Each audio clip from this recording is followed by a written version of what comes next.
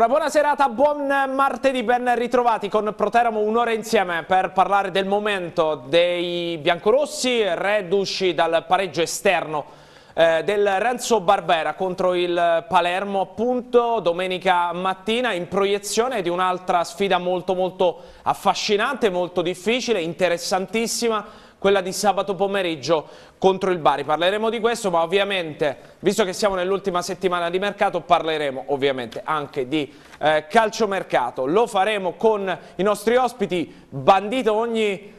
Ogni discorso su Coppa Italia, derby di Milano, assolutamente non ne voglio sentire niente, vedremo poi come andrà alla fine. Saluto i miei compagni di viaggio, Francesco Andreania, ciao ragazzi. Ciao a tutti, salve. Ovviamente saluto la regia, ma soprattutto saluto il direttore sportivo del Teramo, Sandro Federico. Buonasera direttore. Buonasera Jacopo e buonasera a tutti. Allora, cominciamo subito. Ovviamente vi dico che nella prima parte eh, torneremo anche con i dati su quella che è stata la partita eh, di Palermo, perché come abbiamo detto anche domenica nel post gara, è vero che è stata una non vittoria, ma tra le non vittorie la migliore certamente e poi vi faremo vedere al di là del, del fatto che ci fosse il Palermo dall'altra parte ma vi faremo anche vedere in che cosa il Teramo è stato diverso probabilmente nell'atteggiamento in campo eh, rispetto alle ultime uscite. Vediamo innanzitutto la classifica eh, perché il Diavolo fa un passettino in avanti, rimane a, a braccetto con il Foggia, peraltro vi dico già che visto che Prossima settimana il Teramo giocherà proprio con il Foggia, il turno eh, di campionato, il nostro prossimo appuntamento con il Pro Teramo di fatto sarà un post gara mh, mm, del Pino Zaccheria. Eh, Ovviamente come detto lo faremo insieme alle immagini e lo faremo eh, grazie soprattutto ai dati che ci vengono, i dati ufficiali che ci vengono dal report di Palermo Teramo di Y Scout. Poi le, le vedremo far, per farvi capire eh, in che modo il Teramo è stato più propositivo al di là del, del modulo di gioco differente. Eh, direttore, parto ovviamente, ovviamente da lei perché immagino che la risposta di domenica mattina sia stata quella che vi aspettavate, probabilmente non dal punto di vista del risultato, ma dal punto di vista dell'atteggiamento questo sicuramente sì. Sì, ma non aspettavamo delle risposte, volevamo solo dare continuità alla buona prestazione fatta con l'Avellino e anche in parte a Viterbo e, l'approccio è stato fantastico. Abbiamo fatto una prima mezz'ora molto molto bene. Peccato perché in quella mezz'ora secondo me dovevamo provare a, a, chiudere o a provare a realizzare anche il secondo gol. Eh, peccato perché poi il, il Palermo è uscito e ha creato qualche problema eh, peccato perché è una partita che ha lasciato un po' di rammarico, la sensazione che si potesse veramente vincere mm. eh, contro un avversario comunque sempre difficile. Francesco, sei rimasto soddisfatto dall'atteggiamento di domenica mattina contro il Palermo? Immagino di sì, anche perché insomma eh, dopo la sconfitta di Viterbo probabilmente ci voleva una prova convincente.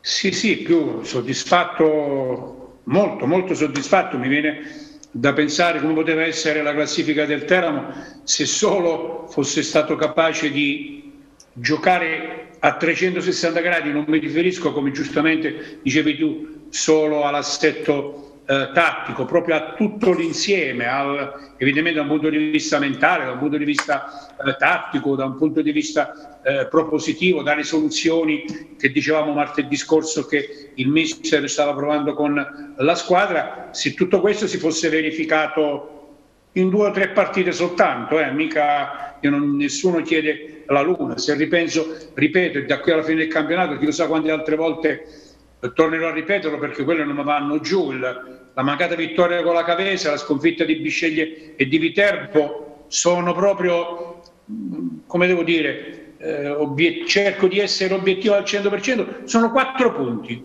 La vittoria in casa con la Cavese e due pareggi e oggi fuori. sarebbero una... 33 punti. Eh, hai detto niente, eh, con 33 punti eh, si farebbero discorsi eh, completamente diversi o comunque si guarderebbe al Teramo con occhi eh, diversi. Ben eh, venga eh, questa vittoria, questo eh, pareggio. pareggio. questa buona prova di eh, Palermo sul piano, secondo me, dell'espressione del gioco e dell'insieme la si può accostare molto a una uh, vittoria. Ora c'è da provare a replicare nei prossimi impegni perché già quello di sabato contro il Bari non c'è bisogno che diciamo quali sono le difficoltà. Assolutamente. Oh, Ania, vengo da te perché innanzitutto ti faccio vedere, vi faccio vedere una cosa, la prendiamo come detto dal report eh, della partita, la distanza tra i reparti, perché poi sostanzialmente è vero che abbiamo visto il cambio di modulo, questo eh, 4-3, ma la cosa molto molto interessante, se vediamo l'aspetto che riguarda il Teramo, è che è stata una squadra che rispetto al Palermo che è stato in 50 metri, come vedete il Teramo è stato in 41, in 41 metri, una squadra molto corta ed effettivamente poi noi l'abbiamo vista in campo, quella sensazione di compattezza, perché se sei in 40 metri, tendenzialmente, queste sono posizioni medie, eh, non è che tutta la partita è stata in 41 metri, però se tu sei così corto riesci a fare quel contropressing o contropressing che finalmente abbiamo rivisto. Sì, esatto, che è anche quello che poi eh, ha, ha, permesso mm, a, a Billy Gia di, di, segnare, insomma, quella, quell'intensità, quella eh, voglia di aggredire l'avversario che poi ha permesso eh, proprio di, a Billy Gia di recuperare il pallone, di dialogare con Pinzavuti e lo stesso Billy Gia poi andare a segnare eh, l'1-0. Eh, Io credo che mh, mm, il per quello che insomma ha detto anche, anche, Paci, un cambiamento non so dal punto di vista degli uomini ma anche dal punto di vista dell'atteggiamento e del modulo era necessario dopo otto gare senza, senza vittorie. Il 4-2-3-1 era forse un pochino diventato di troppo facile lettura per, eh, per gli avversari che ormai avevano capito eh, molto come il Teramo agiva, agiva in campo, eh, probabilmente anche la squadra magari aveva perso qualche, qualche stimolo, aveva bisogno di qualche stimolo differente eh, proprio per quanto concerne il, il, modulo, anche se poi a fare la differenza è sempre, è sempre l'atteggiamento che si ha in campo, però magari questo cambiamento potrà dare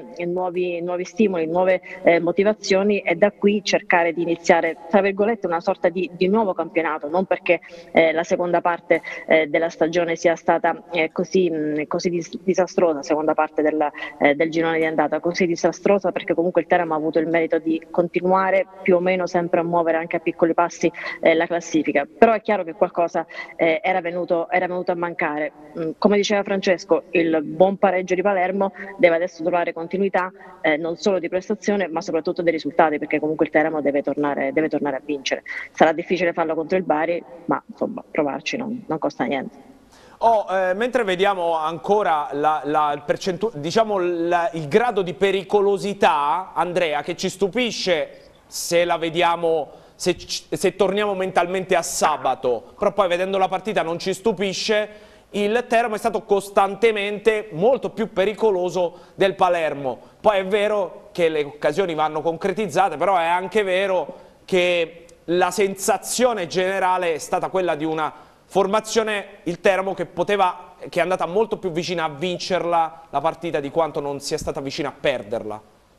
Ehm, e così ehm, c'è stata quasi la sensazione che la squadra sentisse molto questa partita perché effettivamente doveva ritrovarsi perché contro l'Avellino la squadra aveva fatto una partita discreta ma insomma non era ancora il Teramo di inizio stagione sicuramente non con la Viterbese e invece col Palermo si sono riviste tracce anzi più di, di tracce, direi proprio una sorta di identità, quell'identità che ha avuto la squadra fino alla gara con la Ternana che poi ha man mano eh, smarrito. È un peccato perché comunque sono due mesi, sono otto partite che il Teramo non riesce a vincere eh, una gara e bisogna interrogarsi sul perché. Probabilmente eh, tra questi perché c'è il fatto che c'è stato un, un rilassamento più che altro mentale e la squadra non ha più saputo fare, e ci può stare per carità, eh, quello che di buono si vedeva nelle prime partite. Eh, questa capacità di stare compatti che tu hai tradotto con quella schermata e con quel dato di quei 40-41 metri eh, in cui la squadra si è saputa restringere, per fare quello devi starci bene con la testa, devi essere concentrato.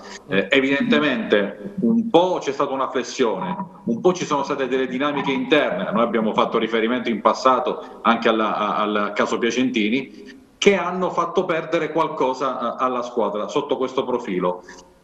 Contro il Palermo e anche all'inizio di un ciclo di gare molto molto importante e piuttosto complesso, la squadra sembra aver riguadagnato quel tipo di identità. Ora le partite con Bari e Foggia ci dovranno dire se intanto si riproseguirà su quel trend e poi se questo permetterà anche al Teramo di ritrovare una vittoria che sarà difficile contro Bari e Foggia, ma con questo Teramo assolutamente non impossibile assolutamente. Peraltro, se vedete, poi, poi, andiamo anche con le immagini, se torniamo sul report vi faccio vedere che poi c'è la descrizione soprattutto del, dello sviluppo dell'azione d'attacco nella ripresa del Teramo, eh, perché eh, il numero 36 che è Gerbi e il numero 17 che è Di Francesco che sono i subentrati, di fatto Gerbi non va mediamente nella posizione di Pinzauti a fare eh, l'attaccante centrale e quello prevalentemente se la prende Ilari quando va in inserimento, ma il Teramo aveva capito che dalla parte sinistra della difesa del Palermo, per intenderci dove c'era Crivello, era la parte più vulnerabile ed effettivamente da questa zona del campo poi arriveranno le occasioni nella parte finale della gara e infatti se scendiamo come vedete all'attacco dalle fasce e la pericolosità il Teramo praticamente ha attaccato prevalentemente, anzi quasi totalmente sul lato destro del campo. Direttore, ti faccio vedere un paio di situazioni per far capire anche a chi ci, ci vede a casa come è cambiato l'atteggiamento, cioè che tipo di atteggiamento abbiamo rivisto nel Teramo.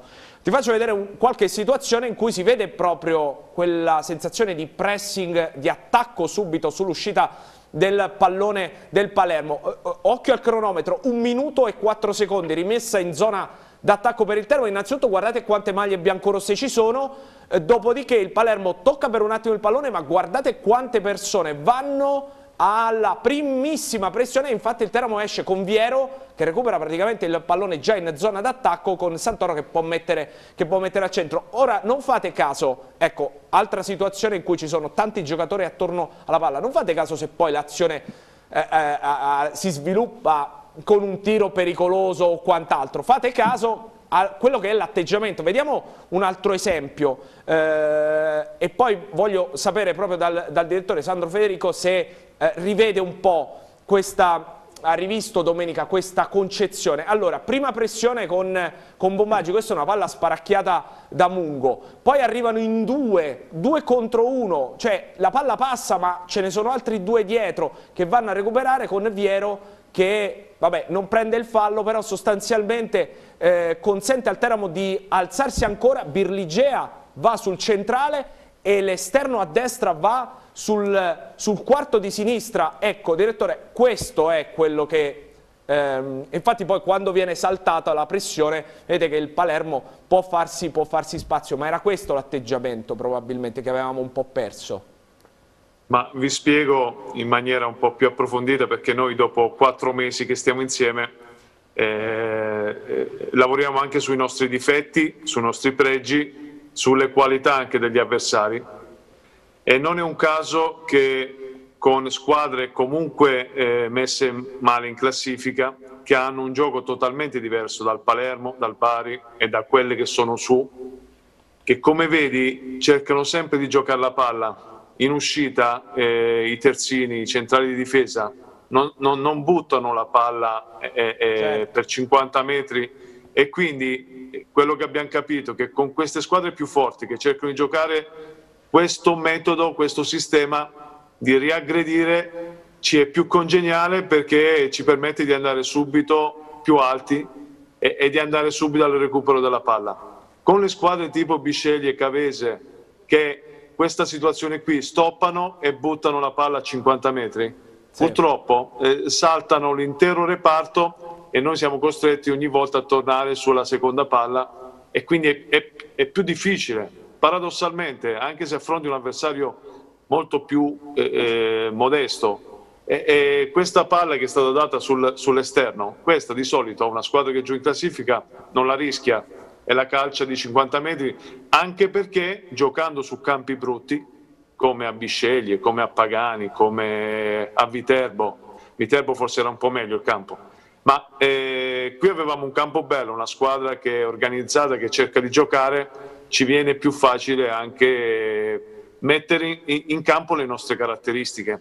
Eh, Assolutamente. Di, dipende, dipende purtroppo anche da questo. E dove dobbiamo migliorare? Dobbiamo migliorare nelle partite sporche dove l'avversario butta questa palla, è lì che noi dobbiamo veramente fare il salto di qualità e capire che eh, purtroppo deve essere fatta una partita diversa. Anche perché vi faccio vedere adesso invece il riassunto complessivo della partita, no, non vi faccio vedere 90 minuti, per farvi capire, perché molti poi vedono il gol molto bello di Berligea e vedono il triangolo, ma guardate quanta pressione deve fare il Teramo per recuperare. Allora, sono in 5 sul lato della palla, eh? Sul lato della palla sono in 5. Prima pressione, eh, c'è un, un tackle da dietro, il Teramo non riesce a riconquistare il pallone, ci riesce adesso con Viero che va in scivolata, quindi seconda pressione, e poi terza pressione di Birligea, che allunga il, il, il, piede destro, riesce a conquistare la palla, arriva tardi la chiusura della difesa del Palermo e a quel punto si innesca questo triangolo che porta alla rete di Birligea. Molti vedono Birligea che si invola mm, verso la porta, Andrea, eh, e dicono ah bel gol, ma dietro c'è una costruzione di recupero palla non indifferente. Sì, questo a volte accade anche perché se si rivedono gli highlights molte volte non c'è modo di avere neanche il materiale per vedere quello che, che succede un po' più indietro. Eh, magari rivedendo la partita integralmente poi si va anche a ritroso e si vede quello che è, è l'antefatto del, del gol, che, che, in effetti in questo caso nasce da, dall'aggressività, dal fare eh, grande densità lì dove, dove c'è la zona del pallone dando pochi sbocchi quindi alla circolazione di palla del, del, Palermo perché poi ogni portatore di palla quando si doveva liberare della sfera eh, trovava un compagno su cui c'erano eh, un altro giocatore del Teramo e un altro pronto eventualmente a, a, a raddoppiare in caso di uscita da, quella, eh, da, da quel contrasto. Quindi è chiaro che quello che abbiamo riassunto in precedenza, cioè su questo atteggiamento, su questa propensione che la squadra ha ritrovato anche, come diceva il direttore, per le caratteristiche del Palermo stesso e di quelle squadre che sono abituate a giocare palle a terra, quindi vogliono sfidarti, vogliono confrontarsi, non rinunciano a farlo buttando questi palloni, con queste, con queste squadre evidentemente il Teramo ha trovato ulteriore sostegno su questa ritrovata aggressività premiata poi dal, da quel gran gol di Berligea. Oh Francesco, a questo punto, visto che sabato arriva il Bari, eh, rispetto a quello che abbiamo fatto vedere, sei, sei ottimista? Sei un po' più ottimista, tu sei sempre ottimista, un po' più ottimista. Beh, la qualità del Bari però, rispetto anche a questo Palermo, è di un altro tenore. Infatti stavo per dire aggredire, aggredire, il Marras di questo periodo è altra, è altra cosa, ma chiaramente il terreno Vabbè, noi ci abbiamo provato. Io dico, dico, che una partita come quella con il Bari, che il Bari si chiude al secondo posto ormai, a meno di cronaca la Molossi della Ternana, deve fare le capriole. E quindi per una squadra costruita per il vertice, in una partita come questa devi cercare di vincere ma soprattutto di non, di non, perdere, perché come ricordavi tu, bene o male la classifica eh, si, eh, si, muove. Tutto il discorso, comunque, tutti i discorsi eh, ruotano in varie, eh, come devo dire, in varie sfaccettature, perché poi è giustissimo quello che eh, si stava dicendo, giustissimo quello che diceva Sandro, e appunto, però contro Cavese, Bisceglie e Viterbese, qui adesso apro questa parentesi, perché voglio ingigantire i meriti del Teramo, non piangere sul fatto che manca un attaccante, ma in certe partite se avessi l'attaccante o il giocatore con determinate caratteristiche tecniche e realizzative, cioè che magari ogni tanto un, un, golletto in più lo fa e comunque bravo nel far salire la squadra, bravo nello sfruttare dentro l'area la, la, la prima eh, mezza palla sporca, magari quelle sono partite che vinci che avresti vinto lo stesso, perché io credo che esprimersi poi sempre eh, a un livello tatticamente con tutto quello che segue, tipo Palermo o tipo la prima parte del campionato, per una squadra che non è uno squadrone diventa difficile, perché uno potrebbe dire, scusi, è la Ternana, eh, ma la Ternana è uno squadrone, cioè la Ternana ha una, una batteria, non due U, ha una batteria di tre quartisti, oltre agli attaccanti davanti e alla difesa e al centrocampo che fa paura, dove tutti realizzano. A inizio stagione, quando si diceva capocannoniere Ilari, mi ricordi in una trasmissione, e io ricordai che il Teramo ha vinto anche un campionato senza avere un bomber, perché vinse il campionato. Però, però con... adesso devi prenderti le responsabilità di quello che dicesti eh. tempo fa. Eh, eh, fammi cioè, hai fatti 5, poi hai fatto una moltiplicazione, là potrebbe arrivare a 20. Eh, ho capito. Eh, vabbè, io lì lo feci no, così per come gioco, sì. Però quella squadra che vinse il campionato con l'allenatore Rumignani e che non eh, aveva eh, un goleador e però era una squadra che aveva, con tutto il rispetto per quelli che abbiamo, e in una realtà diversa perché era, era un'altra era ed era un altro campionato rispetto a questo, però c'erano giocatori di una caratura nettamente superiore che tu come squadra riuscivi a far fronte alla mancanza del, dell'attaccante, ma non dico tanto, quindi sai di quello che quando è la fine dell'anno ti porta 9, 10, 11, 12 gol. Qui siamo fermi ai 5 di Ilari e che Dio lo benedica Ilari per quello che ha fatto all'inizio, sperando che adesso ritrovi quella condizione eh, iniziale. Per questo io dicevo il discorso, oltre a quello tattico di determinate eh, partite, la partita con il Bari adesso, tu devi provare a vincerla, sì, però possibilmente devi provare a non perderla, perché diceva bene, ha nominato Marras, ma nel Bari di oggi possiamo nominare 4, 5, 6 giocatori che da un momento all'altro risolvono la partita con una giocata e tutto questo, e ho concluso, a, a, al di là eh, della, eh, dell'impegno, della grinda, della concentrazione, dell'assetto tattico, del pressing, al di là di tutto. Tante volte le partite si risolvono con una giocata. Assolutamente. Oh, visto che la settimana scorsa avevi un po' metaforicamente tirato le orecchie a Domenico Mungo, Beh, ti faccio vedere invece Ania, e chiedo il tuo conforto, eh, ha giocato una grande partita soprattutto in queste letture. Eh, sì. Letture con lo scarico dietro, ha fatto davvero, davvero un grande lavoro di sacrificio. Eh, Mungo, probabilmente più quantità che qualità, ma che quantità però, eh? È stato eh... bravissimo. Scusa. Credo che sia un po' mh, quello che mh, Mungo ha fatto più vedere fino a questo momento, nel senso, mi spiego, mh, magari è stato più importante in fase di non possesso che in fase di possesso. Eh, si è dato, anche quando Bombaggi è mancato per il Covid, per il mal di schiena, eh, sempre eh, un grande affare per dare una mano ai compagni. Questo lavoro magari viene notato un po' di meno perché non è il Mungo che tira in porta, non è il Mungo che fa cross, non è il Mungo che magari va al tiro, non è il Mungo che, che segna. Però in determinati momenti è stato, è stato molto importante. Eh, credo che è un lavoro che, fatto, che ha fatto anche, eh, anche, a Palermo. La sfida per lui credo che sia quella di riuscire a essere un po' più eh, incisivo, incisivo, lì davanti, trovare più continuità ovviamente di, eh, di, mh, di impiego perché eh, nelle ultime gare a parte, a parte Palermo è stato, è stato, poco impiegato, eh, però deve magari riuscire anche con questo, nuovo, nu- con questo nuovo modo modulo a essere un po' più pericoloso davanti. Poi ovviamente dipende anche da quello che gli chiederà Paci, soprattutto se verrà eh, confermato, confermato Mezzala. Però credo che in fase di non possesso questo Mungo di questa stagione sia stato importante per i compagni e lo sarà ancora. Direttore, a questo punto Mungo rimane? Mai, mai pensato mai, il contrario. Stato, mai stato in discussione, soprattutto Assolut adesso. Ma, ma assolutamente, assolutamente. Noi dipendiamo da Mungo, da Bombaggi, da Ilari, da Rigoni, da tutti quei calciatori che devono comunque fare sempre la differenza ogni partita e inevitabilmente anche se i giovani stanno facendo qualcosa di straordinario. Alcuni sono molto più avanti, alcuni sono, hanno bisogno di un po' più di tempo, ma i, i grandi calciatori che abbiamo eh, eh, dovrebbero sempre stare al 100%.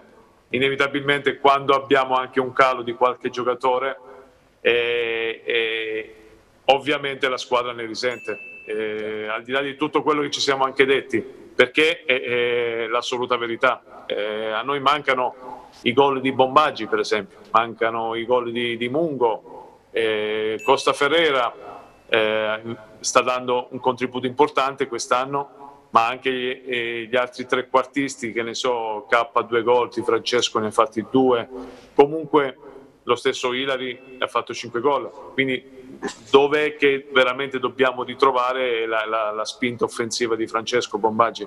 Mm. Eh, ed è inevitabile che poi la squadra possa eh, risentirne soprattutto in fase offensiva. Assolutamente. Oh, noi ci fermiamo per la pubblicità. Chiaramente al rientro non ci siamo dimenticati che avendo ospite il direttore sportivo poi si parla, e visto che siamo in clima mercato, di, parleremo di mercato nella seconda parte, quindi ragazzi io tra un po' il report che vedete lo, con tutte quelle frecce lo metto via perché poi vi do spazio, no? non lo facciamo vedere, è pieno di linee, una cosa che non si capisce nulla, ehm, vi do spazio, preparatevi le domande, torniamo tra poco, tanto mercato col direttore sportivo del Teramo, a tra poco. Di nuovo insieme, seconda parte di Proteramo, ovviamente in compagnia dei nostri ospiti, tra i quali il direttore sportivo del Teramo Sandro Federico, a cui chiedo, poi lascio spazio a voi ragazzi, eh, ci descrive, visto che questo è un Teramo giovane, soprattutto anche nelle intenzioni future, ci descrive un po' questo Luca Lombardi che sembra essere il eh, nuovo arrivo in casa biancorossa in prestito dal Monza, se non erro diritto di riscatto e controriscatto. Sì, sì, ragazzo di grande talento, eh, tutto mancino, eh, diventerà un grande play, quello sarà il suo ruolo. Eh, è un'operazione che vorremmo portare a termine, stiamo ancora discutendo con il Monza. Il prestito infatti è di un anno e mezzo proprio perché quest'anno vogliamo già iniziare un percorso con lui per arrivare il prossimo anno a, a dargli uno spazio ancora maggiore. E, e, pensiamo che con lui si possa fare una bella operazione. Oh, Andrea, noi lo abbiamo visto in, in maglia, scusami Francesco, lo abbiamo visto in maglia recanatese più che in maglia Monza oggettivamente, vediamo anche un po' il profilo di questo ragazzo qui biondo, ricciolino, vediamo anche un po' il profilo eh, di, di, Ancona eh, e eccolo qua, eh, diciamo che è un centrocampista centrale sulla carta, anche se noi l'abbiamo conosciuto un po' più vicino alla porta, vero Andrea? Poi chiediamo sì. anche al direttore una, un feedback di questa, di questa sensazione. Ma Io... queste... Sì, sì, prego direttore. Queste, quelle, le immagini che vedete di due anni fa circa, un sì. anno e mezzo fa, dove era comunque esile, aveva caratteristiche diverse ed era tipo un 2004, eh, sì, nel senso che adesso eh, eh, ha messo 4-5 eh, kg di, di, di muscoli, ha cambiato anche proprio, se lo vedete, infatti ero curioso di rivederlo da vicino, perché avevamo un po' perso le tracce ed è cambiato completamente. Giocatore molto più eh, fisico, anche se non è molto alto, però già, già è diventato uomo e, e, già è più giocatore, un ragazzo di grande personalità e, e ecco perché diventerà un grande play, perché probabilmente la, la, la, la sua grande personalità gli permetterà di giocare proprio davanti alla difesa. Ok, eh, quindi il direttore qui ha, ha completato quello che io vo volevo dire perché io avendolo visto dal vivo eh, un paio di volte mi aveva colpito per il grande talento e la grande personalità e lo ricordavo centrocampista offensivo, quasi trequartista, quasi seconda punta, per come lo avevo visto in quelle edizioni della Recanatese, penso con Alessandrini allenatore. Eh, però era un 2002 di qualche anno, o quindi ora ha 19 anni, deve, o forse li deve fare, quindi allora era un 6 dicembre 6 dicembre, 2002. Se, sedicenne, diciassettenne quando l'ho visto io e chiaramente faceva sensazione vedere questo ragazzo così giovane in una squadra così competitiva, titolare, con quella, mh, con quella personalità. Evidentemente ora il direttore ci parla di un'evoluzione da playmaker perché allora era un giocatore più offensivo ma non una punta, eh, sicuramente doveva mettere su dei chili perché poi con quel fisico giocando tra i professionisti non puoi resistere ai contrasti e se lo sta facendo magari il Teramo ha preso un, un, giocatore eh, di cui sentiremo molto molto parlare e che ripeto quando l'ho visto per le prime volte mi aveva effettivamente colpito. Inoltre, in questo, inoltre in questo periodo eh, si è allenato sempre in prima squadra quindi quando ti alleni con Boateng mm. eh, con, con, giocatori che hanno fatto la Champions hai, hai solo da, da, da, da imparare da, migliorare. Quindi eh, ha avuto una crescita evidente e sembra veramente un altro giocatore eh, rispetto dal punto di vista fisico e atletico rispetto a quello che abbiamo visto e che ho visto io dal vivo un anno e mezzo fa. Il problema è che non ho avuto il tempo di andarlo a trattare perché il Monza arrivò e, e fece subito un'offerta importante alla Recanatese e il ragazzo andò a gennaio su a Monza. Un anno fa. Un anno fa in pratica, sì. Come è nata andai... questa operazione? Ma perché è un ragazzo che seguivo da tempo, i buoni rapporti con il Monza, il Monza sta seguendo alcuni nostri giovani e, e, e quindi da questa collaborazione è nata questa idea che volevo probabilmente chiudere più a luglio, ma eh, abbiamo anticipato anche eh, avendo uno spazio in mezzo al campo, eh, d'accordo con Filippo Antonelli siamo d'accordo, dobbiamo trovare solo la formula giusta adesso, e anche oggi abbiamo un po' ragionato e pensiamo che possa veramente ritagliarsi uno spazio anche da subito. Eh, direttore, eh, se le operazioni a gennaio riescono tutte come Diachite, speriamo insomma, di, di, di, di, aver fatto centro. Eh, oh, ragazzi, vi do eh, adesso la parola, giustamente Francesco prima perdonami ti ho interrotto per le domande di mercato che ritiene opportune fare al direttore. Te, Ania e poi Andrea. Diachite? Diachite è un giocatore del Teramo. È, è, è un giocatore del Teramo. Lo sai, che non me ne accorto, lo sai che non me ne ero accorto che era un giocatore del Teramo? Allora, da Napoli, giocatore... da, Na, da Napoli ex colleghi, uno anzi, un altro è del Mattino di Napoli, del Corriere dello Sport, dicono che il Napoli vuole fortemente Diachite o lo gira al Bari o non lo gira, il Napoli vuole Diachite non dire le bugie per favore che già sono abituato alle bugie di Andrea Iaconi ma tu immagini, se le dici pure tu mi vado a suicidare tu sai che sono sincero no? Eh, mi credi? Allora, sì. Ti dico, ti dico che parliamo da un mese spesso ogni, ogni, due giorni, quindi ho anche un buon rapporto con Giancarlo Romairone, con, eh, comunque anche con il Napoli. E, e, la sensazione che ho è che difficilmente si faccia a, a gennaio, quindi secondo me è un'operazione che andrà a finire a giugno.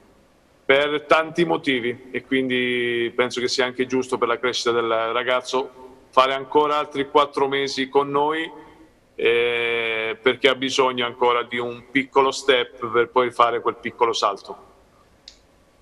Un grosso step secondo me Sandro, perché è un giocatore fisicamente devastante che però tecnicamente in certe letture... Se, deve... parli, se parli di Serie A sì, se parli io dico un, un, ulteriore step per andare poi il prossimo anno in B e poi eventualmente secondo me con un paio d'anni arrivare in Serie A, questo sì. Ma perché non ha una scuola. Questo ragazzo è arrivato sì. dal dilettantismo francese, è arrivato all'Agnonese e quest'anno probabilmente ha iniziato a lavorare sulla tattica, soprattutto sulla fase difensiva dove Massimo Paci veramente lo ha secondo martellato. me realizzato, martellato e, e, lo ha costruito come difensore centrale e ha avuto l'intuito veramente di crederci e, e diventerà un grande centrale ma ovviamente si porta dietro un passato dove giocava solo con la forza fisica e la forza atletica, quindi ha, ha bisogno ancora di, di, di tanto lavoro. Ania. Ehm, volevo chiedere al direttore il, um, lo stato della situazione Cianci perché insomma, sappiamo che sabato potrebbe ritrovarsi di nuovo contro il Teramo come eh, nell'ottobre scorso eh, a, a, Potenza, come un po' la situazione con il Bari, con il Potenza stesso che pare che abbia chiesto un indennizzo o una contropartita e poi gli volevo chiedere se questo che, che, adesso pare insomma un cambio di modulo abbastanza netto cambierà anche gli obiettivi di mercato negli ultimi giorni di, di trattative, se ci sono state delle indicazioni di particolare di concerto con, con, il, con il tecnico. L'operazione Cianci è eh, praticamente c'è l'accordo tra Potenza e Bari, quindi roba di qualche minuto fa, infatti sono, sono in continuo contatto al telefono perché stiamo noi adesso ragionando con Cianci perché dobbiamo allungare di un altro anno il suo contratto. Aveva un altro anno, un anno e mezzo con noi, allunghiamo di un altro anno, quindi dobbiamo solo noi trovare l'accordo con il calciatore e dovrebbe andare insomma, al Bari senza, senza problemi. Il cambio di modulo non cambia i nostri obiettivi, eh, se troviamo qualcosa di, di interessante eh, al di là del, del modulo eh, lo faremo e se c'è la possibilità di dare un po' più di spazio a Luca Di Matteo eh, ci proveremo insomma anche per, per, per, dare la possibilità a Luca di giocare di più. Celentano sta, sta andando alla, alla Cireale, ragazzo del 2001, il trasferimento si dovrebbe materializzare giovedì e quindi ci siamo. Prestito, ovviamente. Quindi ritrova Sparacello, se non erro, ad Acireale. Sì. Mm. Un ex, sì. un ex, biancorosso come Sparacello che gioca, gioca ad Acireale. Eh, oh, eh, direttore, quindi ci conferma che Luca Di Matteo, che era impredicato di andare via, non andrà via a questo punto? No, no. Eh come dire, vediamo da, da, fino a lunedì che cosa può venire fuori.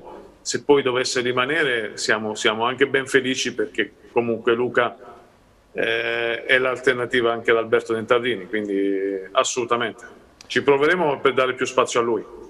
Oh, eh, direttore, eh, le faccio vedere, sì, poi Ania torno da te, eh, in relazione a chi poteva partire e forse non partirà, è l'autore del gol di, eh, di, domenica, Daniel Birligea, che ha detto questa, uh, qui rivediamo alcune azioni, ma le faccio vedere proprio le dichiarazioni, le parole al termine della gara del centravanti romeno. Eh, sono stato un po' sorpreso, ha detto di giocare, ma negli allenamenti ho sempre dato il massimo. Ma andiamo sotto, ho sfruttato questa, possi questa possibilità che mi è stata data e vedremo d'ora in poi. Il futuro non lo so, avevo dei piani, ma con la partita che ho fatto e con l'infortunio di mezzo vedremo come andrà.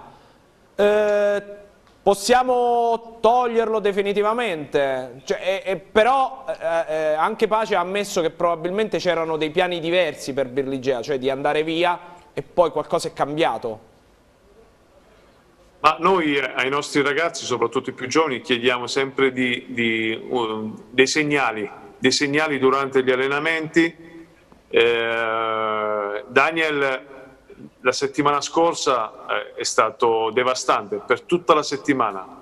Probabilmente nella sua testa aveva anche delle motivazioni importanti, aveva qualcosa di diverso e, e in virtù anche della partita di Palermo. È stato premiato e Massimo Paci ha voluto dare un segnale a tutti, anche Birigea che è stato per quattro mesi praticamente ai margini, giocato 10 minuti a Pagani, se ci si allena e si dà il massimo e si vuole essere protagonisti, bisogna farlo durante la settimana e dare dei segnali durante gli allenamenti e noi siamo qui e osserviamo tutto. E la settimana scorsa anche i fisioterapisti notavano la, la, la, la qualità degli allenamenti di, di Daniel. Quindi eh, Massimo è stato bravo a buttarlo dentro eh, sapevamo che avrebbe offerto una grande prestazione perché è anche un ragazzo di personalità, quindi assolutamente rimarrà con noi e, e volevamo questo tipo di segnale. Non, non c'è nessun problema, anzi probabilmente è il vero nuovo acquisto di gennaio perché ha tutte le qualità per diventare un grande, un grande calciatore, perché può fare sia l'esterno che la prima punta e lui in allenamento vede la porta come pochi. Aya, ti ho interrotto prima. Eh, no, volevo chiedere, siccome abbiamo raccolto un interesse dalla Triestina per Ilari, un interesse concreto a quanto pare, se c'è la possibilità effettivamente di una partenza di Ilari prima di lunedì oppure il Teramo non, non vuole, ecco, sostanzialmente. No, non, non, mi è stato, sono sincero, come al solito, e, e non mi è stato chiesto assolutamente, tra l'altro non, non, si muove da qui, ci sono arrivate altre richieste per lui da altre squadre ma non, non si muove, come tutti gli altri, insomma andiamo avanti senza problemi e speriamo insomma, di, di, di riprendere a vincere da subito perché questa squadra ha dei valori importanti, l'abbiamo sempre detto e lo ripeto, l'importante è avere tutti questi ragazzi sempre al 100%, credo sia fondamentale. Ricominciamo il giro, Francesco, altre curiosità? Beh, credo che sono state già, ci sono già state tutte Io ne ho, ne ho ancora tante, eh. E le, e le risposte, eh, ma tanto se, se ci dicono che eh, ripeto, ci risiamo, se uno crede, crede, se no non crede, al di là di poi il fatto che quello che è vero oggi non lo diventa più domani in sede di Vabbè, questo è eh, evidente, il mercato campagna, funziona così, eh, acquisti e, e, vendite, soprattutto poi a pochi giorni dalla chiusura del, di, del mercato di, di gennaio. Eh, se non sono in arrivo altri eh, movimenti, prendiamo atto che si va avanti così, ma d'altronde che non sarebbe arrivato, peccato intanto che Billiger si è fatto male e gli facciamo ovviamente eh, gli auguri di tornare eh, molto presto. Eh, se eh, non arriva eh, un attaccante di un certo peso, ecco, usiamo questo aggettivo di peso, poi che significherà non lo so, eh, vuol dire che si va avanti così e, e va bene, anche perché oh, stiamo parlando di una squadra che mi sembra che è quinta, sesta in classifica. È vero che c'era stata quella partenza che aveva fatto sognare, però insomma anche quando si vuole sognare a occhi aperti, poi il momento che guardi bene lo sai che il Termo non, era una squadra, non è una squadra che avrebbe potuto mantenere quel ritmo là, c'è poco da fare. Oh, eh, direttore, questa è la schermata dei giocatori in scadenza a giugno. Eh, quanti secondo lei anche l'anno prossimo continueranno a vestire la maglia del, del Teramo. Piacentini di fatto lo possiamo togliere perché ha rinnovato eh, e quindi questo, lui no. Eh, Iotti è andato alla Feral Pisalò, eh, Lewandowski, Tentardini, Di Matteo, Ilari, Lasic. chiaramente l'interesse soprattutto per eh, ragazzi come Ilari, Costa Ferreira, Bombaggi, ecco, quelli che di fatto tendenzialmente sono eh, più portati a fare la differenza. È ovvio che noi vorremmo tenere tutti. Eh, la volontà è di, di, su questo gruppo costruire anche la squadra del prossimo anno eh, con eh, probabilmente la possibile riforma. Eh, la nostra squadra è forte ma, ma, puntellata può diventare ancora più forte. L'obiettivo è questo. Eh, vediamo adesso nei prossimi mesi man mano eventualmente eh, si ragionerà ma, ma, vogliamo che ci sia anche un segnale chiaro, forte da, da parte di ognuno lo, di, di, loro. Insomma. Quindi siamo pronti e disponibili a, a, a, a procedere e a lavorare insieme anche nei prossimi anni. È ipotizzabile pensare una politica di questo tipo, rimpiazzare magari un po' alla volta, non tutto insieme, un big con un, faccio un nome perché ne abbiamo parlato prima, un Lombardi per esempio? È ipotizzabile una, una politica del genere? No, è ipotizzabile completare l'organico con dei giovani forti. Se poi il giovane più bravo del giocatore esperto, ben venga. Ma, ma bisogna anche avere dei, dei, giocatori esperti che sappiano guidare questi giovani. Quindi io dico che abbiamo un bel gruppo di lavoro e, e vorremmo continuare con questi. E questo è, è l'obiettivo della società anche con Massimo Paci, idem, che riuscire a programmare e a costruire una, una squadra forte, dallo staff ai giovani, ai giocatori più esperti e, e, poter lavorare già con un anno in più eh, sarebbe importante. Sandro, scusa, ti recalcitrante, infatti ti vedevo Paci, che, eri, che stavi, che stavi scalpitando. Quando rinnovano? Paci e Federico, quando rinnovano? Quando, quando, la società riterrà opportuno rinnovare anche Federico e Paci. Eh, ridi, ridi sotto i baffi, dai, sì, va bene. Ciao. Ah, te ne vai? te ne vai? No, però, però direttore, è, è, un tema caldo, cioè allenatore e direttore sportivo, poi sostanzialmente dal punto, dal lato dal lato tecnico sono di fatto due, due, cardini poi per costruire rosa organico della prossima stagione, anche per quella politica futuribile di cui parlavamo prima, perché è, è, è evidente che, che qualcuno i giocatori debba sceglierli e qualcun altro debba allenarli. Io, io sono abituato a lavorare a prescindere e, e lavoro già per il prossimo anno perché l'idea di Luca Lombardi è per il prossimo anno, come qualche altra operazione che ho in mente e quindi al di là di tutto non è un contratto che mi cambia, cambia il mio modo di lavorare. Ovviamente eh, eh, siamo a disposizione e, e vorremmo continuare eh, eh, e portare avanti questo bel lavoro che è stato fatto perché secondo me stiamo facendo le cose con criterio, con coerenza. Anche quest'anno, nonostante le tante difficoltà, abbiamo una bella idea di calcio eh, dove in questa squadra abbiamo giovani interessanti, abbiamo tante richieste anche per Santoro, Piacentini, Viero, eh, stanno venendo fuori anche altri giovani, anche Birligea eh, fa solo capire che probabilmente un anno e mezzo fa non ci siamo sbagliati,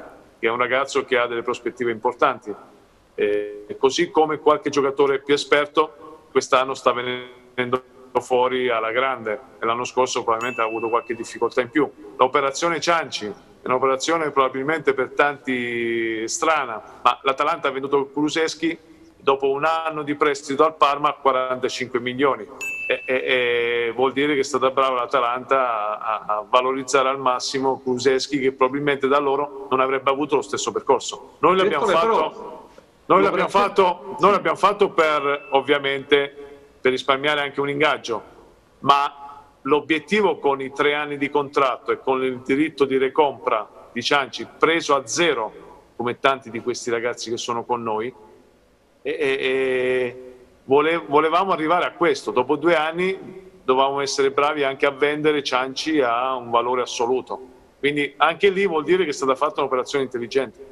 Ecco, direttore, il fatto che dobbiate prolungare il contratto con Cianci, eh, quindi mi fa pensare che non c'è l'obbligo di riscatto alla fine della stagione per il Bari. Come è strutturata questa operazione e qual è la finalità? E soprattutto c'è anche la possibilità, tra le altre, che Cianci l'anno prossimo torni al Teramo e sia anche un attaccante del Teramo, visto che gli prolungate il contratto, se appunto poi il Bari non eserciterà un eventuale diritto di riscatto, perché se c'era l'obbligo non dovevate eh, prolungare. Andrea, il Bari sta prendendo il calciatore in prestito perché è l'unica formula che può mm.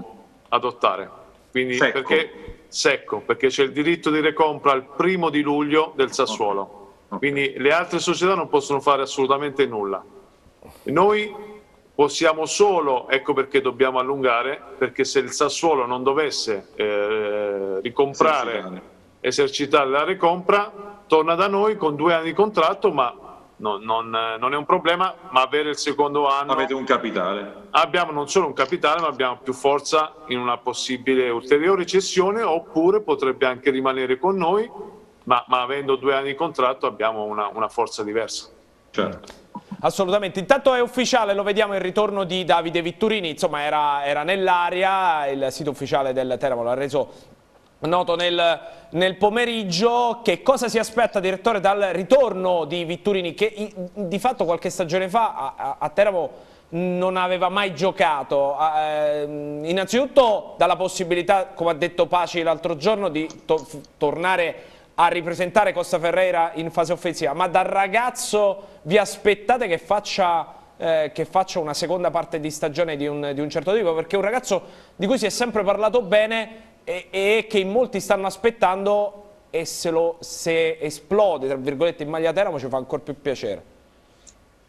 Sì, perché è ancora un 97 e quindi pur avendo già un'esperienza importante eh, addirittura in Serie B, addirittura con qualche presenza in Serie A, dobbiamo portarlo ad una condizione fisica e mentale per, per rendere al massimo e, e, probabilmente questo ragazzo non ha espresso ancora tutte le sue qualità, perché mi dicono di un ragazzo molto molto intelligente, grande corsa, grande fisico, probabilmente non ha trovato realmente mai l'ambiente giusto per eh, dare, dare, qualcosa di diverso, perché ha tutte le potenzialità per farlo. Quindi si è incastrata questa operazione in maniera proprio perfetta, abbiamo anche risparmiato qualcosa, ma, ma, volevamo un giocatore con queste caratteristiche. Tra l'altro ha giocato anche dieci giorni fa, quindi è anche allenato e pronto e domani mattina lo aspettiamo per l'allenamento.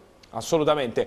Oh, eh, ragazzi, ultimo giro di domande per il direttore Francesco Ania Andrea. Intanto dico che probabilmente sul suo rinnovo di contratto Sandro Federico neanche quando giocava ha fatto un dribbling così secco che ci ha lasciato 1, 2, 3 e 4 in studio eh, fermi sul posto dove, dove, eravamo. Tanto prima o poi, prima o poi dovrà rispondere. Non ci sono, non ci sono cavoli. Eh, Francesco, Ania Andrea per l'ultimo giro poi andiamo col prossimo turno perché siamo in chiusura. Eh, domanda secca, eh, vi fermate qui? E non è una domanda polemica perché ci sono movimenti interessanti, hai spiegato bene quello di, eh, di Cianci in proiezione eh, futura, questo eh, ragazzo eh, Lombardi, dico, siamo attaccanti a bassa voce.